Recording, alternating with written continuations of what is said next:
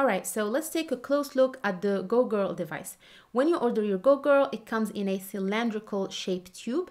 It's very lightweight, very compact, and TSA approved in case you plan on traveling with the Go Girl device.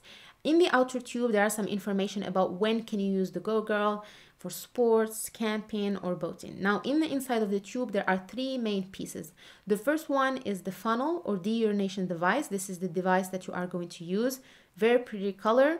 Uh, it's 100% BPA free and it's made of 100% medical grade silicone, so it should be very safe for you to use. Now, the second piece is this plastic bag. This plastic bag is used to store the urination device and it also has some information about how to use it. The instructions are provided in English, Spanish, and French, so just make sure that you are spending some time to read through and familiarize yourself with the device before using it.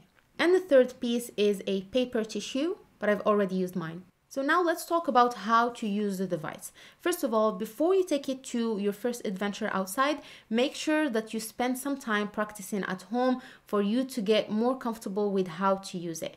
Now, if you look at the funnel, there is first of all a sign that says do not flush. Obviously, this is a device that can be reusable. So pretty much every time you use it, you clean it, put it back in the tube, and you can use it as many times as you want. If you take a close look at the funnel here, there are two edges. One of them is higher than the other.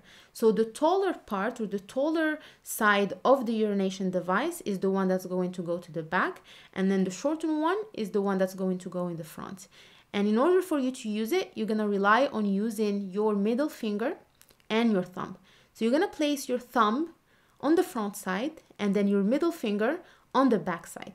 When you place it in the backside, you want to make sure that you are applying a little bit of pressure just to make sure that you are avoiding any leakage. So if you look at the pictures here, this is the position that you want to be in, and this is the one that you want to avoid.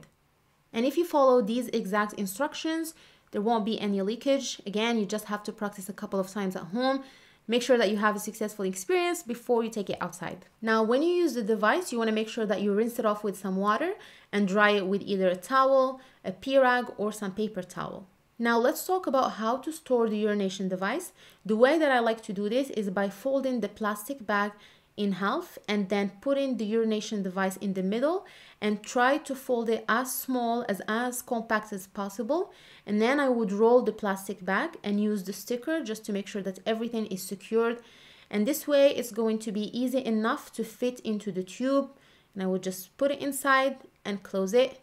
And voila now, just make sure when you get home, if you are, for example, hiking outside, that you do clean it one more time and dry it to ensure that there's no bacteria growing in there.